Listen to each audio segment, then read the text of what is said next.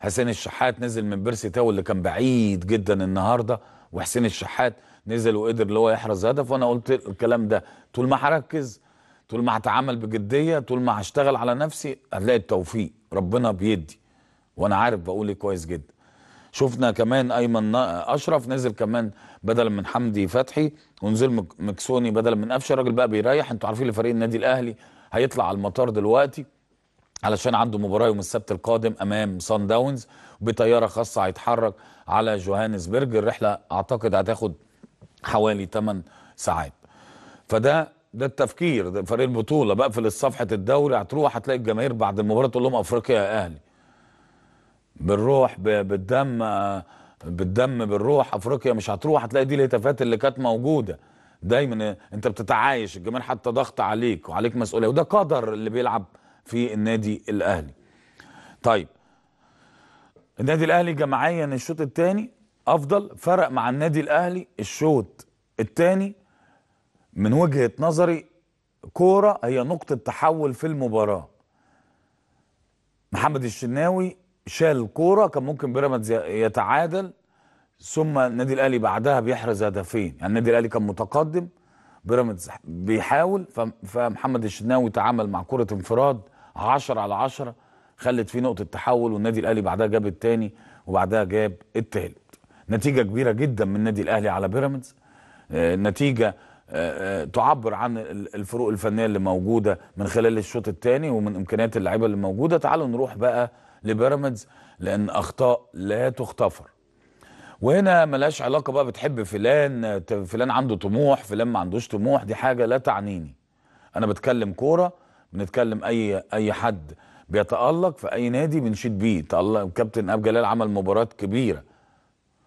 وك- وكان الكابتن محمد بيدخل معانا لما كان موجود معاه في الجهاز وادينا كل الناس حقها. لكن النهارده أخطاء غريبة من لعيبة المفروض دولية ولعيبة عندها خبرات كبيرة و و وأخطاء والله ما تحصل في, في, في لاعب سواء لاعب لمنتخب مصر أو أو أو عنده تراكم خبرات كبيرة جدا. هتقول لي عايز تقول إيه؟ تمام.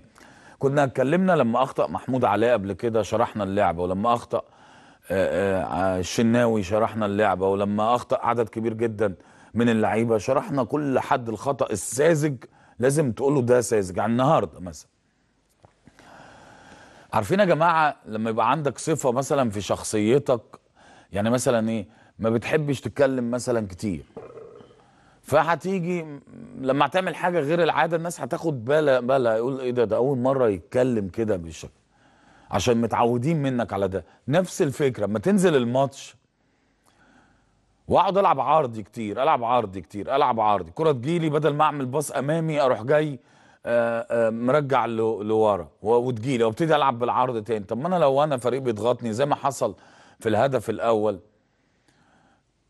وده الغريب اللي أنا شايفه من البعض كالعادة العادة السيئة اللي إحنا بندور على نهاية اللعبة لما الفيديو بيعيدها تاني. وبيقع فيها المحللين في نفس الخطأ وبيقع فيها المذيع اللي بيذيع المباراة. بمنتهى الأمان أنا بتكلم بمنتهى الأمان. ارجع لمشهد الهدف الأول. عبد الله السعيد واقف على سن ال 18 زي ما بيقولوا بلغة الكوره والنادي الأهلي ضاغط بكل قوة. قفشة على الدايرة. أنا سردباك وسط ملعب حارس مرمى أي حد في الحتة دي هيعمل إيه؟ هلعب. وش رجلي واحدة. فعبد الله السعيد راح جاي لعبها ثرو باص. والله دي اللعبة كده بالظبط أكيد كلكم شفتوا يعني. ثرو باص لقفشة عبد الطمان ليه؟ عشان بلعب العرضي اللي هو ولا يطور من أدائك. وده أبسط حل على فكرة بالمناسبة اللاعب اللي بيلعب اللعب يعني أنا جاي لي الكورة أبسط حاجة في الدنيا مثلا تعال نقول اللي جنبي الونش اللي جنبي وائل جمعة اللي جنبي أي لاعب وأنا سردباك مثلا. وحد ضغط عليا وحد ضغط على وائل طب ما أنا أعملها كده وبوش رجلي طويلة على عندي حد متميز من رصات الحربه وخلصت نفسي وحميتني فرقتي اللي أنا يجي فيها هدف. طب أنا النهارده أروح جاي ماسك الكورة وعارف اللي وائل مضغوط أو مضغوط أروح جاي لعبها كده. انه خبرة دي. أروح جاي لعبها له زنقه. فالكوره زي دي أروح جاي لعبها بمنتهى القوة خصوصا اللي حمدي فتحي ضغط بمنتهى القوة. على فكرة الهدف ده 75% منه حمدي فتحي رغم إن هو لا لمس الكوره ولا عمل through pass ولا أي حاجة خالص. عارفين ليه؟ لأن دايما اللاعب اللي عنده power وعنده رجولة في الأداء بتلاقيه مش مندفع بيبص يمينه وشماله ثم يبتدي يضغط في منتهى القوة. ده اللي عمله على عبد الله السعيد. واللاعب المصري بيبقى عنده مشاكل لما تضغط عليه بمنتهى القوة. مهما كانت إمكانياته إيه؟ إلا من رحم ربي. عشان اللعيبة مش بتجهز في ذه- في ذهنها لعبة واثنين وثلاثه لو اتضغطت أعمل كذا.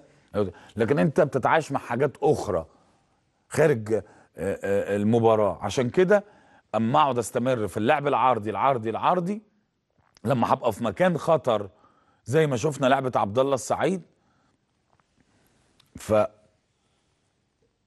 هلعب نفس اللي أنا بأديه ده اللي أنا عايز أقوله. هلعبها بالعرض. فلما جت بالعرض اديت ثرو باص من الضغط القوي من حمدي فتحي أخدها قفشه هنا في ناس كتير تقول لك سايبة الخطأ الأولاني ده ويقول لك شريف إكرامي أخطأ. لا هو خلاص قفشة في وضع اللي هو أي حارس وارد يتراس لأن الطبيعي هيلعبها واحدة. فقفشه عشان لاعب مهاري واللاعب المهاري بيبقى تفكيره غير. يعني لو جه لاعب من وسط الملعب يروح جاي عاملها واحدة ببطن رجليه أو بوش رجليه. لكن عشان ده لاعب بيفكر كتير قبل أي باص فكان عنده صبر شوية وتأني وطلع عليه شريف إكرامي. الطبيعي عمل نفسه هيسدد أخدها على واسع ويتحمل يعني نسبة من وجهة نظري مش بالأكبر زي خطأ عبد الله السعيد لأن هو ده الخطأ الأكبر. التمريرة اللي بالعرض على خط ال 18 بالشكل ده دي حاجة ولا ليها علاقة بخبرات ولا حاجة ليها علاقة بأي حاجة خالص غير عدم تركيز و و وعدم مسؤولية. ده وجهة نظري في الهدف الأول للنادي الأهلي. نيجي للهدف الثاني لعمرو آه، آه، السوليه عمرو السوليه نزل وأنا قلت لكم اللعيبة المتميزة دايما اللي عاجبني في عمرو التطور اللي بيحصل فيه في أدائه. يعني تلاقيه بيروح يكمل في ال second ball بمنتهى القوة بتجيله الكورة لو هي مهيئة اللي هو يشوط بيشوط آه، مهيئة اللي هو يعمل pass قوي. والجميل في تطوير أدائه إزاي بقى عنده من القدرة والإمكانيات الفنية اللي بيلمح بطرف عينيه back right زايد أو half في زيادة عددية بتلاقيه بيجبره اللي هو يتحرك عليها لأنه بيلعبها pass أمامي في مخاطره ده اللاعب المختلف. لكن أنا لو بلعب وراجل دلوقتي أقول لك الحاجة أهو تخنان 5 6 كيلو عما كنت بلعب ده, ده أنا أرجع ألعب باللعب ده. والله العظيم الكره تجيلي؟ تعال ماشي okay. آه ماشي. آه محمد عبد المنعم يديني الكرة تاني. أروح جاي مديها لعلي معلول. طب علي هيرجعها لي. أروح جاي مبصيها لحمدي فتحي. هتديها لي تاني؟ مضغوط عليا أروح العبها واحد. يقول لي قدام على اي راس حربة يعمل jump ينزلها لزميل مثلا. لكن إيه ال- اللي يختلف لما أنا أمسك الكورة وشايف half right وأنا بلعب third back مثلاً، أروح أعمل بوش رجلي طويلة جدا في مساحة فاضية. pass في مخاطرة. ده اللي بيفرقني عن اللاعب اللي جنبي اللي هو بيلعب ال pass ال- ال- ال- ال- ال- اللي عادي اللي ايزي خالص بالمناسبة. فهو ده خطأ الهدف الأول. خطأ الهدف الآسف الثاني إن عمرو السولية ويتحمل من وجهة نظر وسط الملعب لأن عمرو السولية في المكان ده بيواجهه وسط الملعب.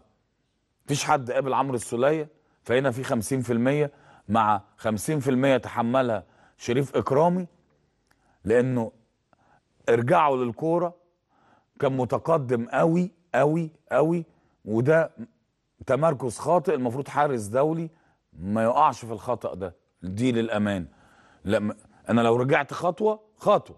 لورا وفردت دراعي الشمال زي ما عم- عملت اللعبة دي كده غلط. اسألوا أي مدرب حراس مرمى لما بروح بيميني كده بتاخد مساحة أطول معايا وأقدر أتعامل معاه. يبقى اللعبة دي كان لازم. وسط الملعب هنا في 50% اللي مفيش ضغط. طب نقول آه، حسن تصرف وم- ومجهز عمرو السولية فشريف إكرامي طلع قدام قوي كان لازم خطوة لورا ولما أجي أروح ما أروحش بشمالي أروح بيميني لأن يميني هتديني المسافة الأطول. واسألوا أي مدرب حراس ولو قال غير كده أنا آسف يروح يدرب بقى حاجة تانية في كرة ال- الماء أو أي حاجة على مسؤوليتي اللي أنا بقوله. دايما لما أفرد إيدي اليمين بتديني لأن لما تعمل بايدي اليمين بتديني مسافة أطول فهقدر أتعامل مع رجوع خطوة سريعة أو خطوتين لكن أنا عشان أنا متقدم فالكرة بقت بعيدة عني وكانت رؤية محترمة جدا جدا من عمرو السوليه الهدف الثالث هدف غريب كالعادة بصراحة. وأنا ضد الناس اللي بتقعد مثلا إيه يشوف أبو جبل يخطأ فيروح تروح فارمه. عشان بيلعب في نادي الزمالك أو جماهير وبتاع. وفي حراس تانية تخطأ في أندية تانية مثلا تيجي تتفرج مع- ملخصات الدوري يبقى حد مثلا طلع على كورة يعملها كده يروح جاي منزلها راس الحرب ويروح جاي حاططها. يروح جاي هو إحنا نقعد نحلل الأهلي والزمالك بس؟ أنا مش فاهم. هو الدوري كله أهلي وزمالك؟ لا. يبقى عشان نوعي حراسنا ما يحصل أخطاء ساذجة لازم تقول له إيه اللي بتعمله ده؟ بمنتهى الأمانة. فهنا كرة معمولة كروس وشريف إكرامي ده حارس كبير. لعب في النادي الأهلي جاب بطولات كتير جدا. وخطأ واخطاء ما تحصلش لو أنتوا عايزين الحقيقة.